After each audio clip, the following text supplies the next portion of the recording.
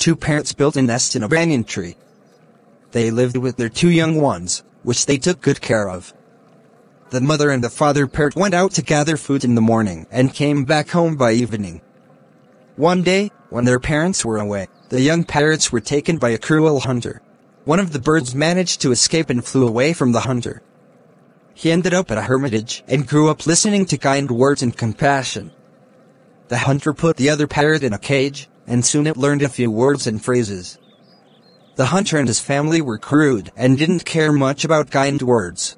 One day, a passerby was resting outside the hunter's hut. Sensing someone outside, the parrot said, Fool, why are you here? Fool. Leave. I'll cut your throat. Scared, the traveler went away, and on his journey, he reached the hermitage where the other parrot was. The parrot at the hermitage spoke, Welcome traveler. You are free to stay here as long as you want.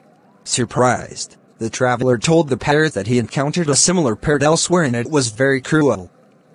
How is that you are so kind? The parrot replied, That must be my brother. I live with the sages, and my brother lives with hunters. I learned the sage's language, and my brother learned the hunter's language. The company we keep decides who we will be. Moral. Keep good company if you want to be a good person.